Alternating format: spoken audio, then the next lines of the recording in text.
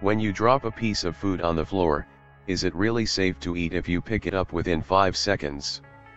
This urban myth claims that if food spends just a few seconds on the floor, dirt and germs won't have enough time to contaminate it.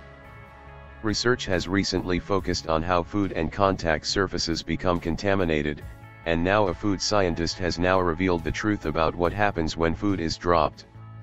In 2007, the lab at Clemson University published a study in the Journal of Applied Microbiology. Experts wanted to know if the length of time food is in contact with a contaminated surface affected the rate of transfer of bacteria to the food.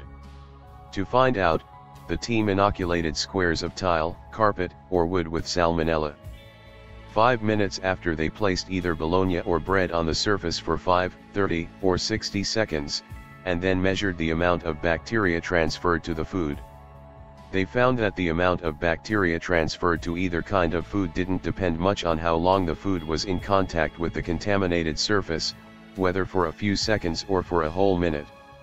The overall amount of bacteria on the surface mattered more, and this decreased over time after the initial inoculation.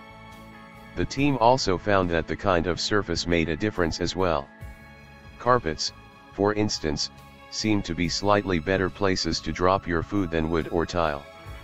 When carpet was inoculated with salmonella, less than 1% of the bacteria were transferred.